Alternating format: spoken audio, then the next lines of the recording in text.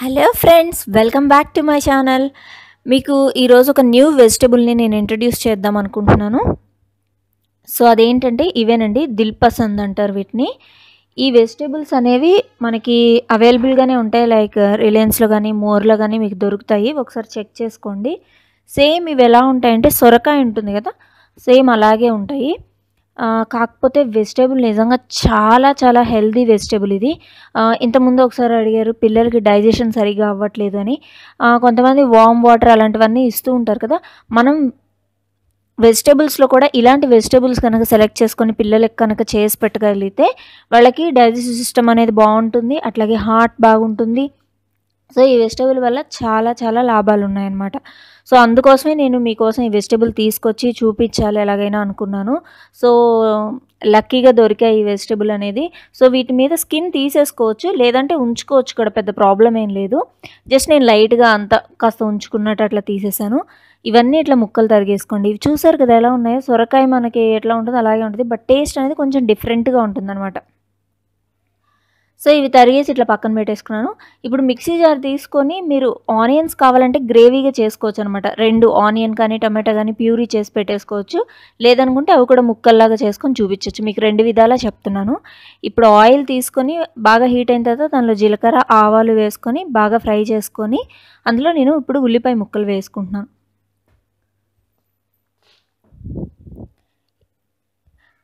ఈ ఉల్లిపాయ ముక్కలు అనేవి బాగా ఫ్రై అవ్వాలి.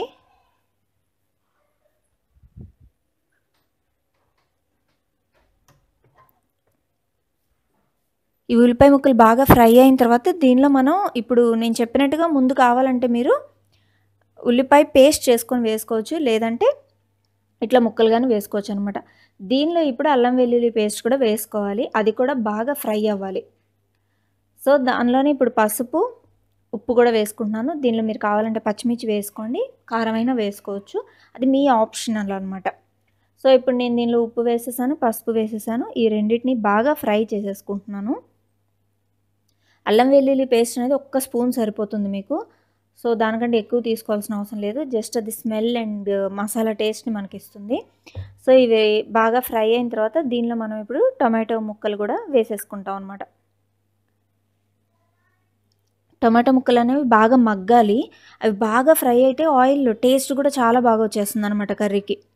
సో నేను ఇక్కడ టూ టొమాటోస్ తీసుకున్నాను. అవి అలాగే వేసేస్తున్నాను టూ టొమాటోస్ ఇవి బాగా మగ్గాలి అంటే మనం లిడ్ పెట్టేసుకుంటే కనుక కాసేపు అవి బాగా మగ్గిపోతాయి అనమాట చాలా టేస్టీగా ఉంటుంది కర్రీ ట్రస్ట్ మీ ఇది కొత్త వెజిటేబుల్ ఎలా ఉంటుందో అనుకోవాల్సిన అవసరం లేదు. దీంతో మనం చాలా వెరైటీస్ చేసుకోవచ్చు. నేను ఫస్ట్ వెరైటీ ఇది చెప్తున్నాను. ఇది రోటీలోకి కూడా చాలా బాగా హెల్ప్ అవుతుంది. అలాగే రైస్లోకి కూడా బాగుంటుంది. బట్ రోటీలో ఇంకా ఎక్సలెంట్గా ఉంటుంది అనమాట సో ఇప్పుడు ఇవి బాగా మగ్ మగ్గాలంటే మనం ఇప్పుడు లిడ్ పెట్టేసుకుందాం. కాసేపు లిడ్ పెట్టిన తర్వాత ఓపెన్ చేస్తే చూసారు కదా ఎలా మగ్గిపోయాయో? సో టమాటో కూడా బాగా మగ్గిపోయింది.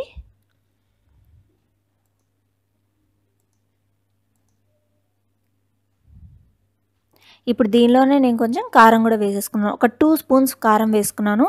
మీరు ఎట్లా వేసుకోవాలంటే కారం అనేది అల్లం వెల్లుల్లి పేస్ట్ ఒక స్పూన్ వేసాం కాబట్టి ఆ మసాలా ఘాటు ఉంటుంది కాబట్టి దానికి తగినంత మనం కారం వేసుకోవాలన్నమాట.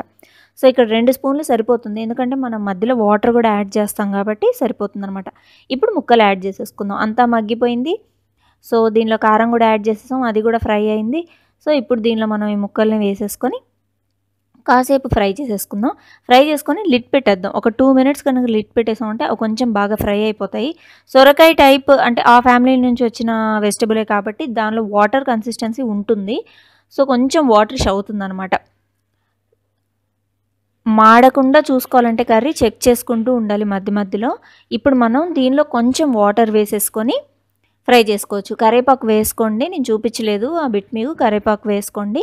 అలాగే దీనిలో మనం ఇప్పుడు వాటర్ వేసేసి ఒక ఫైవ్ మినిట్స్ లిట్ పెడితే కనుక ఈ కూరగాయ బాగా ఉడికిపోతుంది అనమాట ఉడికిపోయి కొంచెం సాఫ్ట్గా అయిపోతుంది. దీనిలో ఇప్పుడు నేను కసూరి మేతి వేస్తున్నాను. కసూరి మేతి అనేది ఆప్షనల్ అండి మీకు. కసూరి మేతి లేకపోతే పర్వాలేదు బట్ వేసుకుంటే చాలా బాగుంటుంది. కొత్తిమీరతో అయినా గార్నిష్ చేసుకోండి అది కూడా బాగానే ఉంటుంది. సో కసూరి మేతి వేస్తే ఏంటంటే టేస్ట్ బాగా ఎన్హాన్స్ అవుతుంది అనమాట కర్రీకి మంచి అరోమా టేస్ట్ ఇస్తుంది. ఎక్సలెంట్ ఎమ్మీగా ఉంది డిష్ నేను టేస్ట్ చేశాను. మీరు కూడా కంపల్సరీ ట్రై చేయండి. ఇది చాలా హెల్తీ వెజిటేబుల్. అందుకోసమే ఇంతగా మీకు చెప్తున్నాను ఈ వెజిటేబుల్ గురించి. Very healthy vegetable.